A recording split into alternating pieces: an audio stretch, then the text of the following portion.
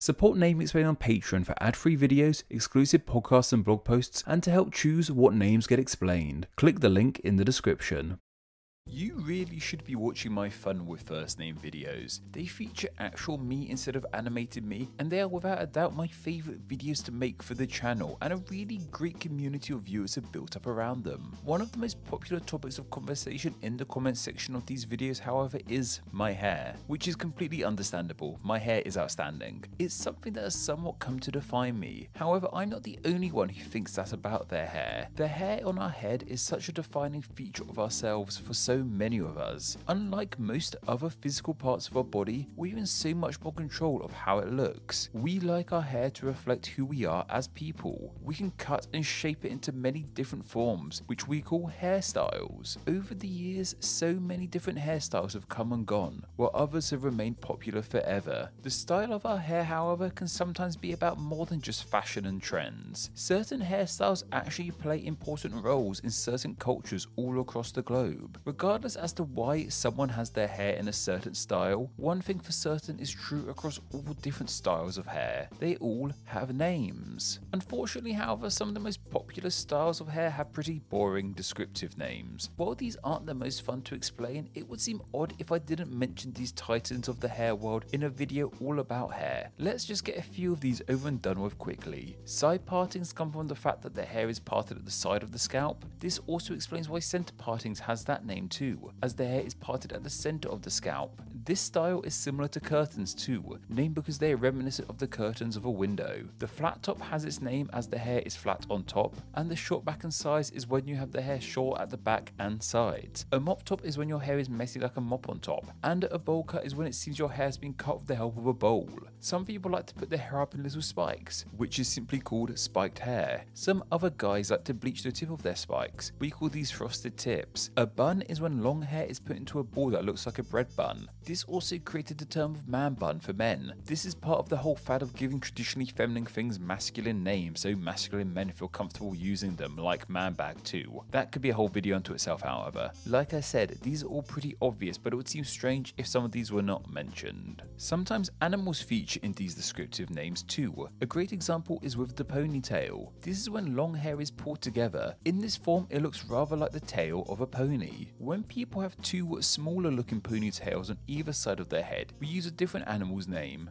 pigtails. The actual tails of pigs are well known for being curly. While some pigtail hairstyles are curly like actual pig's tails, that isn't always the case. It seems this term actually originates in the tobacco industry. When tobacco is dried and cured, it curls up, looking somewhat like the tails of pigs. In this form, tobacco was then called pigtails. When people started to fashion their hair like this, however, it was kind of reminiscent of tobacco and was named after it, as opposed to being named directly after the tails of pigs. While ponies and pigs are the animals most often linked with human hairstyles, there seems to be one other animal tail that has lent its name to a hairstyle, that being the ducktail. Woohoo! Every day they're out there, but sorry, force of habit. This is a type of hair popular in the 1950s, most noticeably with Elvis Presley. This hair has this name because it does look somewhat like the stumpy tail of a duck. Ducktail hair worn by the likes of Elvis has gone by many names, one of the most popular being quiff. This is a fun little word for this hairstyle and almost has an onomatopoeic vibe to it, if hair could somehow be onomatopoeic. We aren't actually too sure as to where this word comes from, though there are a few ideas. One idea is that it comes from the southern US term of quiff, which means a puff of tobacco smoke, perhaps because people with this hair often smoked. Another idea is that it comes from the French coif, which simply means hairstyle but goes further back as the name for the chainmail knights wore over their heads. And one other idea is that it comes from the Dutch coif, meaning crest, as I suppose a lot of quiffs do look somewhat like crests. Today, however, it seems that the most universal name for hairstyles such as quiffs and ducktails is pompadour. Any hair pulled away from the forehead and seen as being voluminous at the front can seemingly be called a pompadour. This seems to date back to Madame de Pompadour, the head mistress of King Louis XV of France. She was known for her taste in fashion and style, which included this large hair, so much so that we are still naming this hairstyle after her. However, there also seems to be sources that claim she actually never had hair like this. Sticking in the realm of large hair, we have the bouffant. This is large upright hair, usually held together with some sort of styling product. Before being the name of a hairstyle, it was a French adjective. Bouffant is an adjective that describes something that's puffed out. It was first used in reference to dresses. It came initially from bouffer, meaning to puff out. Over time, the word used to describe these puffy dresses came to be the name of this puffy hairstyle. Another kind of puffy hairstyle is the perm. Perms come in a lot of different varieties and styles and I guess could be seen more as the name for the process done to the hair rather than the style itself. A perm is when you apply some sort of process to your hair to make it curly and frizzy. Unlike other curling methods, the aim with a perm is that it stays curly permanently, and it's from that word of permanent as to where we get this style's name from, as perm is simply a shortening of the word permanent. Not all hairstyles, however, are long and extravagant like perms and pompadours. Some people like to keep their hair short and much easier to manage. Terms like buzz cut and skinhead are easy to understand, but an interestingly named short hairstyle is the crew cut. The crew this cut refers to is the crew of a rowing team. I honestly didn't even know that a rowing team were called a crew, so that's a bonus name explain I suppose. Of course, rowing is a sport heavily linked with high-end universities, and this cut seems to originate with a member of the Yale rowing team in 1927. He supposedly had his hair cut in this style so it didn't blow in his face as he rowed. The rest of his crew were so enamored by this look that they all also cut their hair like this too. This crew's cut went on to name the crew cut. Another somewhat short hairstyle is the bob. Bob is a word with so many meanings. It can be a verb meaning to bounce up and down, as well as being a shortening of the name Robert. In the haircut however, bob simply means short hair. It was originally used for horses' tails who've been cut short and derived from Celtic roots, most likely with the Irish word baban, meaning cluster, as bobs look like a cluster of hair. The word was eventually applied to short, bobbed hair. An even shorter hairstyle is the pixie cut. This cut is named after the pixies of folk tales, who are pretty often seen with short, mischievous hair. Hair and hairstyles can vary greatly across different ethnicities and races. Black people, especially those of African descent, tend to have very unique hair only found in their race. This means certain hairstyles have originated because of their different hair. However, these hairstyles can be adopted by non-black people and vice versa. Take cornrows an example, a style of hair believed to originate in Africa. Of course, many African people in the past were sent as slaves to the Caribbean. It was in the Caribbean as to where this style got its name. And this name relates to the style's history as well as its appearance. Many African slaves would have worked among the row of corn in fields or plantations. However, the style itself can also somewhat look like rows of corn in a field too. In the Caribbean, this style is also known as cane rows, in relation to a different crop entirely, sugarcane. Another hairstyle deeply linked with black people are dreadlocks. Lock is a term that has been used in relation to hair for a very long time. Think of Goldilocks in example. The dread part of this name comes from the word dread,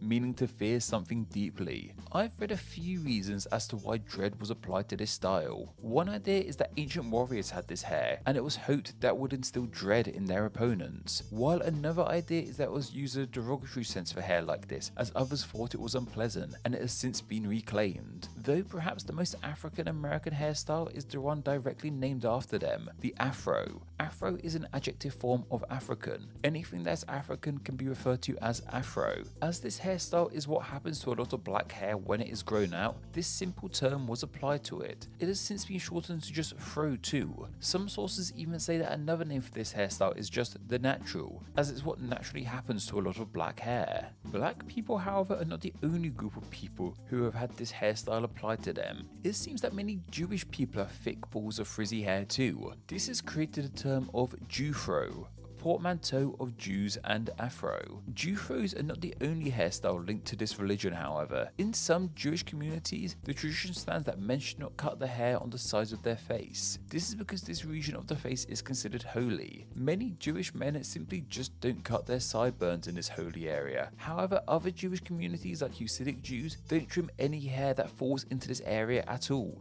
This often results in this longer hair being put into curls. These locks are called payots, as well as also being known as pios. This name comes from the Hebrew pia, meaning corner slash side. This comes from the Hebrew pia, which means corner slash side. This is because these curls are at the corner slash side of the wearer's face. Judaism is not the only religion to have its own hairstyles, however. A tonsure is something done in a variety of religions in which hair is trimmed from the head in devotion to God. Perhaps the most noticeable example of this is with the hair of monks with that infamous bald spot in the middle. This name comes from Latin roots with the Latin tonsura meaning a shearing slash clipping. A specific kind of tonsure is a chonmage. This is the hairstyle worn historically by samurais in Japan. This name relates to its kanji characters. In kanji, the name looks like this. That first character just means chon, and it's believed to be used as this hairstyle supposedly looks like this character from above. The latter character is the mage part, and that simply means a bun type hairstyle. This hairstyle of course birthed the modern top knot too. Another haircut that comes from a unique culture is the mohawk. While linked with punk rockers now, this is a style of Native American origin, specifically with the mohawk people who wore their hair like this too. A proper mohawk traditionally has no hair on the sides, however some keep hair on the sides or just spike it up a bit in the middle. This is a fake kind of mohawk that has been dubbed a faux hawk, a clever play on words, that's for sure. Finally, we have perhaps one of the most infamous hairstyles out there, the mullet, the classic business at the front and party at the back hairdo. It seems to have rose to prominence in the 80s and has stayed around in one form or another ever since. Despite being linked with the 80s, however, it seems that this name rose to prominence in the 90s with the 1994 Beastie Boys song Mullet Head, which links the haircut to a certain lifestyle. This has baffled many people as they assured they had heard the term used in the 80s, yet the earliest reference we have to it as the name of a hairstyle is in the 90s. It seems this dude etymology is just as strange as the style itself. Thank you to all my patrons who support Name Explain on a monthly basis. Patreon is vital to Name Explain, and donating just $2 a month allows you to enjoy ad free videos and bonus Patreon exclusive content. It also allows you to help choose what names get explained in upcoming videos, and gets your name here with all these awesome people. Thank you so much for all the support you guys give Name Explain. Thank you so much for reaching the end of the video. Check out another video and subscribe to stay in the loop on all things Name Explain. Don't forget to follow me on Instagram where I'm Name Explain YT and also join the Facebook group Friends of Name Explain, both of which will be linked down below. Anyway, I hope you enjoyed this video and once again, thank you all so much.